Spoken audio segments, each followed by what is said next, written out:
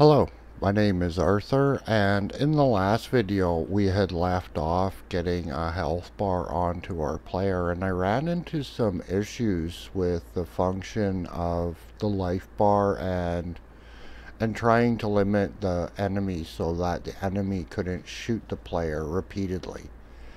Um, yeah, it turned out that I actually had two problems and one of them was a little bit harder to see. So this is the first problem and this is actually um, a video player. It's a replay of my last video. So what we'll see happen is he'll come up, he'll shoot, the fire will hit the player, and then the second time the fire won't hit the player and the player will die. So that's what we see in the first one. Fire hits, fire doesn't hit, and he's dead. Um, it happens pretty fast, right? Then the other thing to see there is when the first fire hit, his health bar disappeared. So before he's dead, his health bar disappeared. And then later on, I do it again. He gets hit He gets hit, he jumps up here, he's still alive, he has no health bar. Sure and now the fire animation will work correctly for the second hit. Now, that problem kind of confused me. It took me a while to figure out what was even going on. One of the problems is just a silly problem. It's, um, I made a mistake in my formula. This isn't how you calculate a percentage. A percentage is the number times 100 divided by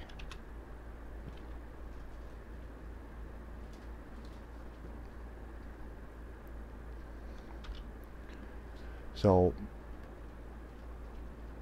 this number is this percent of this number. That's how the formula would read. So it's health times 100 divided by max health.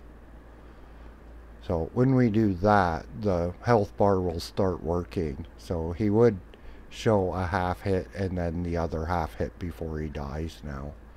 The other problem was a little more difficult to find because in one instance, um, the raycast worked properly. But in the first instance, where the fire happened and then it happened again right away, the raycast was not working properly. Now, the entire script is exactly the same, and the problem is actually with the speed that the raycast updates itself. So what I had to add in was a force raycast update. Now, I'm not exactly sure why it does that. Um, I've had difficulties with raycasts before, it has something to do with with physics process and them functioning outside of physics pro process.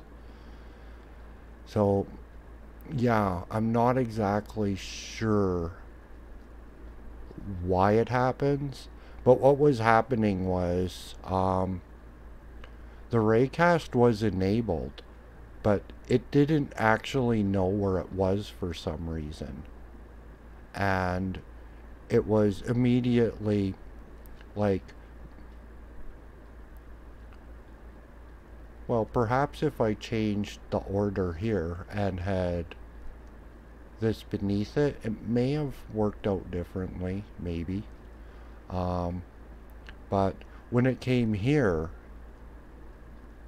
it didn't know that the raycast was at zero still. And